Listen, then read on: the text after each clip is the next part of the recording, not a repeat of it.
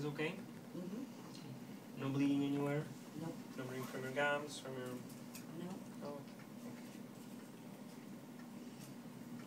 So just So your what, IV. What my CAT scan ever show? I'll tell you in one second. Okay. Deep breath.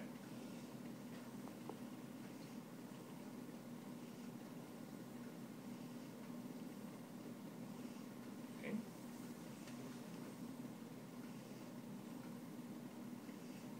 Okay. So your brain scan was fine. Okay, it didn't show anything concerning. Okay. Uh, I have a preliminary results of your bone marrow biopsy. Okay, so it does look like you have leukemia, acute leukemia. Okay. Okay. And um, uh, it's it's uh, and you have what's called myeloid leukemia or AML.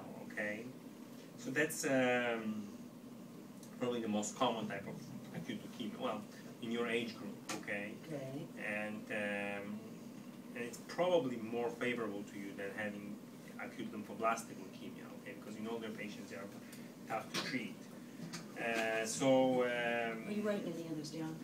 um, I got it. I don't have.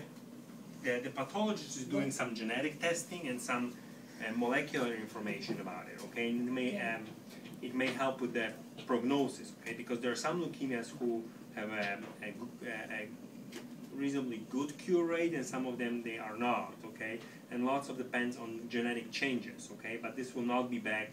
Uh, for another few days, okay, maybe even until next week, okay. So there's, but you know, we can go ahead and start treating you, okay, because there's just no for wait for you to wait, and because the longer you wait, the more are likely to run into problems, you know, with low blood counts, uh, infections, bleeding, and so on. Okay, we really need only a couple of tests to finish everything up, and we can treat you, and we can even start treatment tomorrow. Okay, um, so this type of leukemia we treat with chemotherapy. Okay Okay.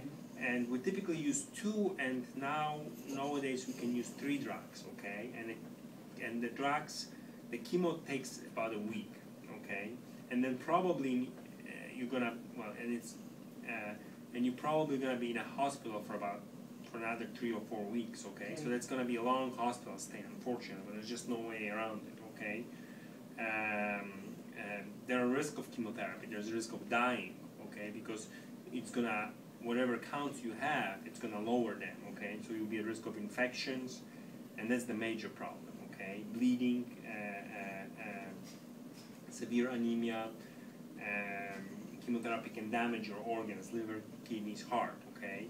Um, but without treatment, you will certainly die within, again, days to weeks, okay? And I think you're otherwise healthy, more or less, okay?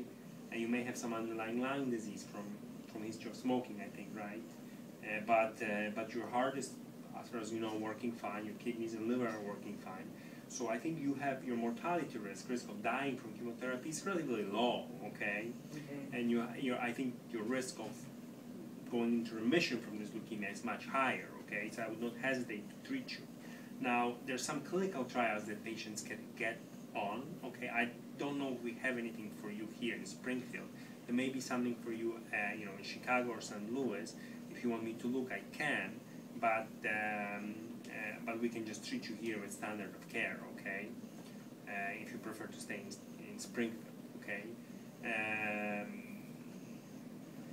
these are, you know, depending on what the, the, the prognostic markers are, then we'll decide what to do after you get your first treatment, okay? Some patients, you know, go for a bone marrow transplantation. Some patients receive more chemotherapy. Okay, it's it's a, it's a tough disease to treat. It's a long, long commitment to treatment. Okay, but the goal would be to cure you from that. Okay, there's a small chance that we can get rid of this and never and it may never come back. Okay.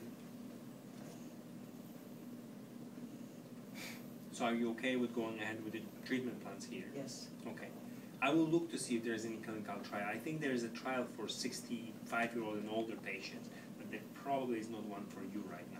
Now, what does that mean, a clinical trial? It would be basically trying a new combination of the drugs, okay? It's usually some drugs that we would normally use plus something else to, with the hope that it's going to be better than, than, than what we have right now for routine care, okay? Oh. Uh, there may be upside and downside of it. Yeah. Upside may be that you may be getting a new combination of drugs and maybe more effective. The downside that they may turn out to be not effective or even worse. and they may expose you to some side effects that you cannot foresee. Now, you know, the trials are designed by smart people, you know, who don't just pull things out of the hat. You know? So uh, uh, the, the combination is supposed to be better, but uh, but often is not. Okay, that's why the done. Okay, if you completely are not interested in that, then we just go ahead and treat you with standard of care. Okay. Okay. I think you need two more things, okay? And um, uh, you need a heart scan, okay? And you need a lumbar puncture, okay? Because with your headaches, I cannot tell you, you know, they're probably your usual normal headaches, but with your headaches, I cannot tell you 100% sure. I, I want to make sure that there's no lymphoma in your brain because the chemotherapy works really well everywhere, Uh-huh. except it doesn't go to the brain that well, okay? And if there was lymphoma cells in leukemia cells in your brain, you can disappear everywhere but remain in your brain and would have to give you chemotherapy inside your brain too, okay? I'm very doubtful about it, but I hate to put you through a very tough treatment and then find out, whoops, we forgot something, okay? So I, it's, we can, I can ask radiologists to do it, okay? They basically put a needle in your spinal cord and take a little bit of fluid, okay? Okay, We'll give you platelet transfusion before because the platelets are low and you're at risk of bleeding, okay?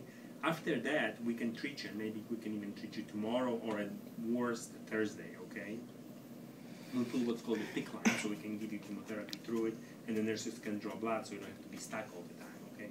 can, I can't do a port instead? We could, but just to arrange it, you know, it- it's gonna be a little bit more difficult, I think. Okay, all right. Um, I could ask somebody, you know, what would requires, it's, it's logistically more difficult to get a port. We could get a port later, okay? All right, But I think I would just get a PICC for now, okay. if it's okay with you. Yeah, I just, I was just asking because I just had a friend here that, Yeah, we could do a port, but, you know, it's just, it, yeah, it's more com- com- complicated to get it in such, such a short notice. If we treat you as an outpatient, let's say for lung cancer, then I would, you know, just send you home, you would get a port you know, Right. later this week and come to the office next week, but we just don't have this luxury, okay? I I, don't wanna wait, because the longer you wait, you need a treatment, there's no question about it. The longer you wait, the more likely you, you are turning into problems, and, uh, so I just wanna get, get going and treat you, so, um, uh, and I don't wanna delay, okay? I wanna do only necessary things, okay? So I would like to treat you tomorrow if can, we can, or at the worst on Thursday, okay? okay? But So her- I need to get this spinal thing and what else? And the heart will scan, okay? There's- Heart scan. Yeah, just to make sure that your heart squeezing function is good. That's not gonna be through the MRI machine. No, no, they will either do an ultrasound or they will do inject a little bit of Oh, uh, I've had one tracer before. and then they will take a pictures of your heart. Whichever Okay. one is faster, I will ask them, okay? All right, I just, that MRI, that, ugh. No, no, no, that, that, no, no, you're not gonna have an MRI, no, no. Bone marrow, not a problem. And you're talking spinal tap as Mhm. well tomorrow? Well, I hope t- tomorrow, yes. Okay. Okay, that's, that's nothing. It should be No, I just wanted to. okay? So her pet, her CAT scan that she had, The brain scan was fine. the brain scan was okay, and then the CAT scan they did of her lungs. Yeah, well, it showed some changes in lungs, okay? Um, it showed some emphysema, and there were a little bit of what's called infiltrate. They weren't sure why. Well, maybe you have pneumonia, okay? But you're on antibiotics anyway, so, so uh, I, you know, there's nothing else to do about it, okay? Okay. Right. And And- was that the only tests? We were gonna ask you about the prednisone. Okay. When, when they had me on that strong prednisone, Mhm. the first of January, would that have lowered my immunity enough to get all this going, or no? No, that's not. That, that doesn't cause leukemia. No, it's just the bad luck. The, the prednisone. There's nothing that, no known reason what causes it. Well, some certain exposures to some chemicals, you know, can cause leukemia. Prior chemotherapy for cancer, like breast cancer, can cause leukemia. Radiation can cause leukemia. But things like prednisone or things that you eat, okay, you know, you would have to be like working, you know, as a chemist with benzene or something like that, you know, or working, you know, on a, uh, a refinery, you know, and Right. not using gloves when handling, you know, uh, uh, petrochemicals, something like that. Like a, you know, and you don't have any unusual exposures, right? You, uh, yeah. So, I, I, your, I, I, most leukemias, vast majority of leukemias in somebody who didn't have chemotherapy, didn't get radiation exposure, it's just bad genetics and bad luck, basically. You know, everybody is exposed to something,